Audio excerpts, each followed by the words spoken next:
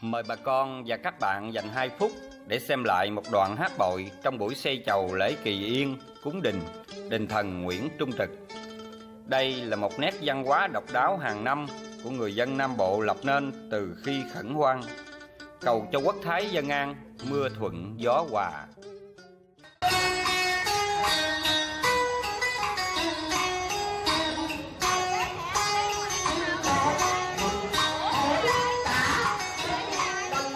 아,